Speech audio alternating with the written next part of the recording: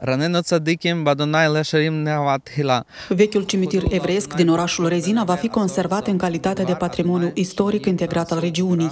Grație efortului comunității evreilor din Republica Moldova, la prima etapă au fost posibile lucrările de renovare a îngrădirii spațiului unde pe vremuri au fost înhumați evreii din Rezina. Я считаю, что это х- очень хорошая идея сохранить э, это кладбище, потому что тут э, хр- э, похоронены наши предки, в том числе и моей семьи тоже.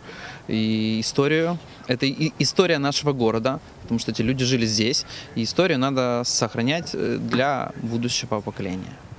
Сегодняшнее повторное открытие еврейского кладбища в городе Резина – это не только событие восстановления и сохранения еврейского кладбища, это в первую очередь возвращение к нашим корням.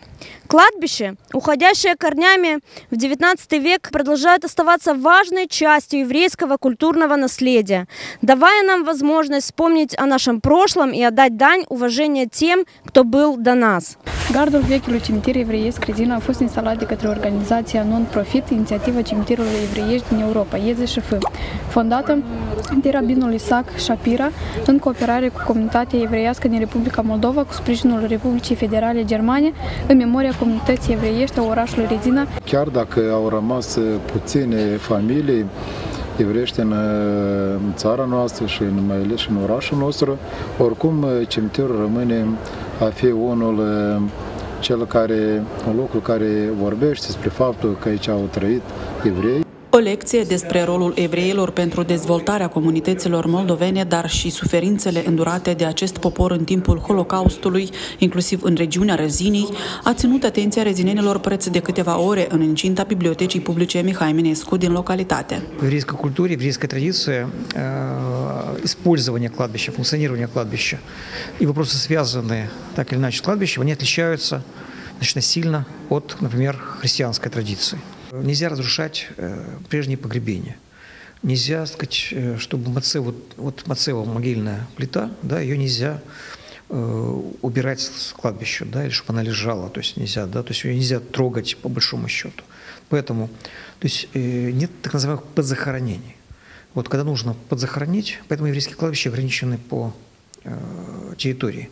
Eu le mulțumesc pe această cale Asociației Evreilor din Moldova și Germania, care au asigurat uh, finanțarea lucrării și lucrarea propriu-zis, care va fi transmis. Din file de istoria orașului Rezina, noi avem Rezina Sat, unde uh, majoritari erau uh, cei de origine română și Rezina Târg, unde se adunau, veneau la târg, unde era, să zic așa, orașul și erau mai mulți din majoritar, majoritari erau evrei. Unul dintre evreii rezineni este Boris Vlăstaru Wexler, scriitor de origine evreiască, născut în 1922 la Rezina. Boris Vlastaru Wexler, pentru că el este unicul scriitor care a fost uh, scos din colecțiile bibliotecilor atunci când el a emigrat și, practic, în baza unei circulare, toate cărțile au fost scoase, cu toate cărțile lui, operele lui se studiau și în program școlar era.